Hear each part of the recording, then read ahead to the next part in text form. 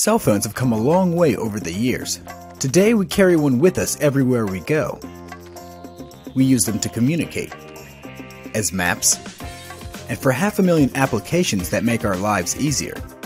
So why not use your phone as a wallet too? Smartphones are now being made with technology that makes your transaction at the register as simple as this. This new payment method is based on NFC, Near Field Communication, a system that allows devices to connect with each other at short distances. You've probably seen other forms of this technology in access cards, prepaid transportation fare, even some modern forms of car keys. With this technology, credit cards will soon be replaced by cell phones. How does it work? You download an app like Google Wallet onto your phone. The app securely connects with your bank account or a separate prepaid account you've created essentially turning your phone into a credit card. At the point of sale, wave it over the reader. A built in chip transmits a unique, secure identification code, which is exactly what the magnetic stripe on your credit card does.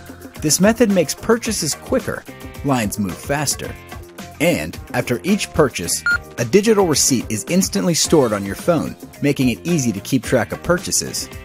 So, how popular is this getting? In 2010, there were about 50 million smartphones equipped with NFC capability. iSuppli Market Research projects that those numbers will rise to over 500 million by 2015. Major payment companies have developed and continue to come up with the best ways to make paying mobile, allowing their users to pay for everyday goods by phone. Look for this symbol in the checkout line the next time you shop. Years from now, these payment systems will be in every store, this technology will be on every phone across the world, making credit cards all but extinct.